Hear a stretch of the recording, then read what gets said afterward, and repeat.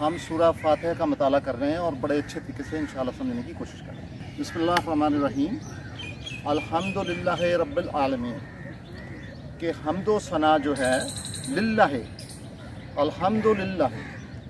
اللہ تعالیٰ کے لیے ہے وہ جو کہ رب العالمین ہے۔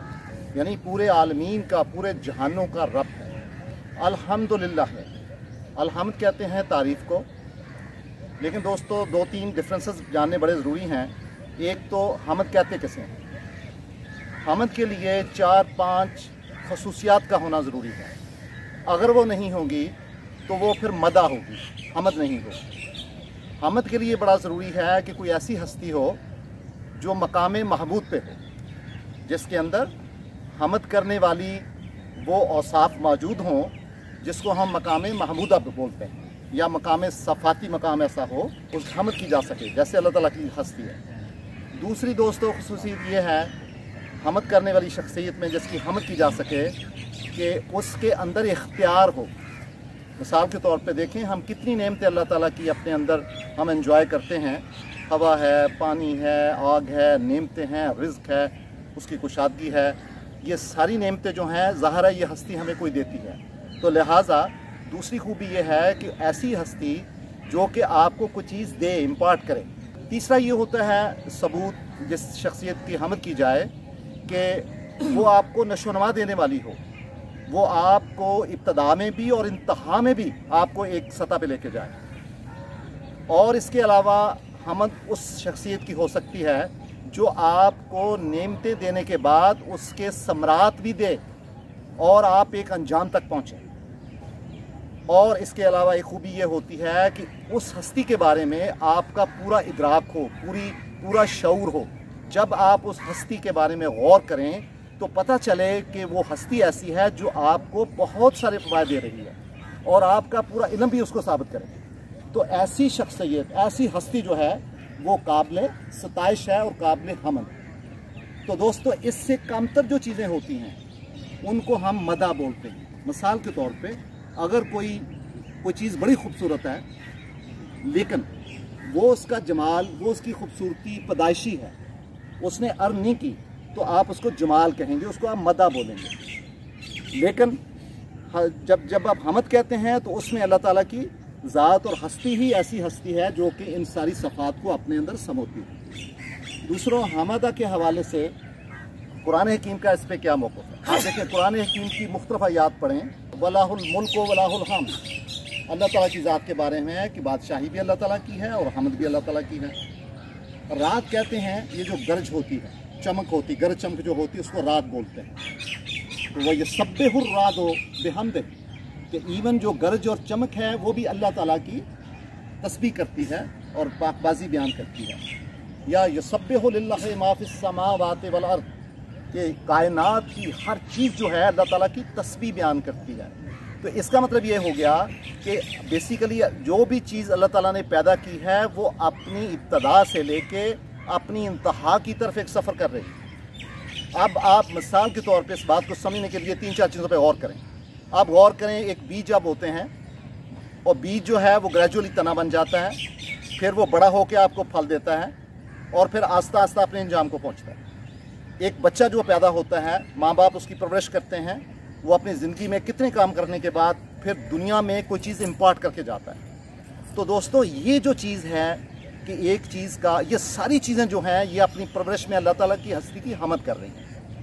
دوستو دوستو، دوسرا جو لفظ بڑا امپورٹنٹ ہے، وہ ہے رب۔ رب کہتے ہیں، جہاں پر بھی شد آ جائے نا، عربی زبان میں قرآن حکیم پڑھتے ہوئے، وہاں پہ دو لفظ ہوتے ہیں۔ تو رب رب جو ہے بے کے اوپر شد ہے، اس کا مطلب ربا با لفظ ہے۔ اس کے چار پانچ معنی ہوتے ہیں رب کے۔ پہلی بات ہے کہ کسی چیز کا مالک ہونا، نمبر ون نمبر دو، کسی چیز کی نشو و نما کرنا۔ نمبر تین، کسی چیز کے ساتھ لگاتار لگے رہنا، اس کو کنٹینیو کرتے رہنا۔ اور نمبر چار، اس کو انجام تک لے کے جانا۔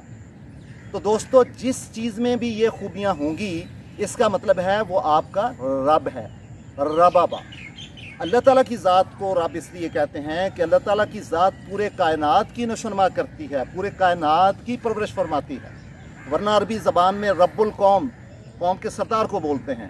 یا رب البیت، بڑے بھائی کو بھی بولتے ہیں اور جو والد کفیل ہوتا ہے اس کو بھی بولتے ہیں۔ تو رب سے، رب کا مطلب ہوتا ہے، پودے بھی اس کا مطلب ہوتا ہے۔ اس کا مطلب ایک تھیلا بھی ہوتا ہے جس میں تیر جمع کیا جا سکیں۔ تو لہٰذا ربانی وہ لوگ ہوتے ہیں جو اللہ تعالیٰ کے نظام ربوبیت کو اپنی زندگی میں نافذ کرنے کی کوشش کرتے ہیں اور ایون جو ملکی اور جو ہماری ہمارے وسائل ہیں ان کا استعمال کرتے ہیں۔ تو ربانی نظام کیا ہے کہ جس میں امیر جو ہیں وہ غریبوں کو امپارٹ کرتے ہیں، زکوٰۃ دیتے ہیں ویلفیئر کے کام کرتے ہیں۔ اور جو جتنے اہل ثروت لوگ ہوتے ہیں، اہل عقل لوگ ہوتے ہیں، اہل علم لوگ ہوتے ہیں، وہ ممار زکن یونفکون یعنی آپ کے پاس جو اللہ تعالیٰ نے آپ کو رزق دیا ہوا ہے، وہ امپارٹ کریں۔ جو پیسہ ہے، وہ اس کی ایک فارم ہے۔ تو ایسا نظام جس میں کہ لوگوں کے اوصاف کو، ان کی صلاحیتوں کو اور ان باقاعدہ نشرما دی جا سکے اور پورا معاشرہ اور انفرادی سطح پہ اور اجتماعی سطح پہ ان اوصاف کو پرورش کرے، نشرما کرے۔ دوستو، اس نظام کو نظام ربوبیت بولتے ہیں۔ اور اللہ تعالیٰ کا نظام جو ہے، پوری کائنات کو ایک انجام کی طرف لے کے جا رہا ہے۔ آپ غور کریں پودوں پہ۔ پودے بڑے ہوتے ہیں، آپ کی خوراک کے کام آتے ہیں۔ جانور بڑے ہوتے ہیں، وہ بھی آپ کی خوراک کے کام آتے ہیں۔ اور پودے جانوروں کے کام آتے ہیں۔ جانور ہمارے، ہماری غذا کا حصہ ہیں۔ اسی طرح دیکھیں، انسان جو ہے، وہ کائنات کے اندر ایک خوبصورت اور بیوٹی اور حسن اور ایک اشفتگی اور ایک اس کے درمیان ایک جگان گند اور یک رنگی پیدا کرنے کی کوشش کر رہا ہے۔ تو دوستو، عالم کسے کہتے ہیں؟ عالمہ بولتے ہیں رب العالمین۔ عالم کہتے ہیں عالمین کی عالمین، عالم کی جمع ہے۔ عالم کہتے ہیں علامہ سے نکلا ہوا لفظ ہے، جس کا مطلب ہوتا ہے کوئی ایسا علم جو حقیقت پہ بیس کرے، ٹھوس حقیقت پہ بیس کرے۔ یعنی میرا علم جو اس وقت میں بات کروں تو میرے سامنے درخت ہیں اور میں اگر میں آپ کو بتاؤں کہ میں اس گراؤنڈ میں کھڑا، میرے سامنے اتنے درخت ہیں تو یہ علامہ ہے کیونکہ میں اس کو دیکھ بھی رہا ہوں اور ثابت بھی کر رہا ہوں۔ لیکن اسی کی بنیاد پہ ایسا نظام، ایسا معاشرہ یا ایسا منظر جو آپ کے سامنے ہو، جس میں آپ کا علم حقیقت پہ بیس کرے، اس کو عالم بولتے ہیں، جس کو ہم دنیا بھی کہتے ہیں، جہان بھی بولتے ہیں۔ تو عالم جو ہے، اس کا مطلب ہے جو حقیقت پہ بیس کرے چیز۔ تو لہٰذا اب ہم اس آیت کو دوبارہ پڑھتے ہیں۔ الحمد للہ کہ حمد ہے، ثنا ہے، اللہ تعالیٰ کی ذات کے لیے۔ الحمد للہ رب العالمین۔ جو کہ عالمین کا رب ہے۔ تو یہ دوستو، یہ کنسیپچل انڈرسٹینڈنگ الفاظ کی بہت ضروری ہے۔ کیونکہ جب تک آپ کو مختلف الفاظ کی انڈرپننگ نہیں آئے گی، تو ہم شاید کا مطلب نہیں سمجھ سکتے۔ Thank you very much